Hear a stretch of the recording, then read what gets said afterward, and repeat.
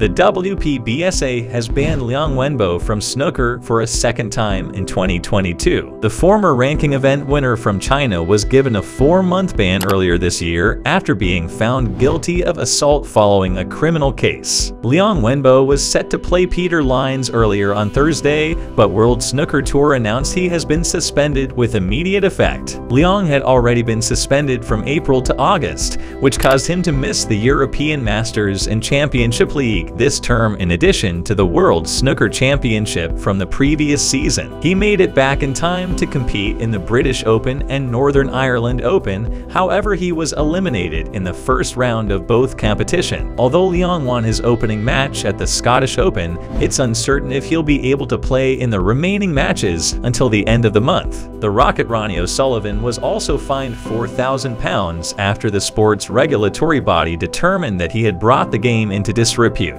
Watch the full video here and to comment your opinion.